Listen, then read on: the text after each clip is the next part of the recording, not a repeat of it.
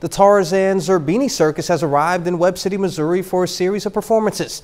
Not all of performers are human though, and that's put the circus at odds with an animal rights group. KOAM's Shagun Bomdali has more.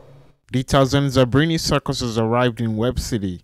The circus features a variety of animals including tigers, elephants and horses. And of course, there will be human performers as well and we have an ensemble of artists from all over the world that are going to be appearing here. Some of them have appeared on America's Got Talent. Uh, some really unique stuff.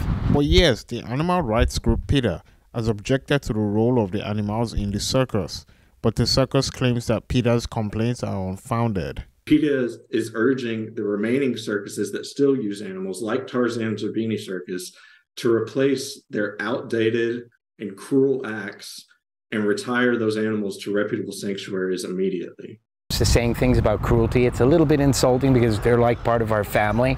And it's like if you have children, you know how you treat your kids. We love them. We love our horses. We love our elephants. Bauer says the animals are well taken care of.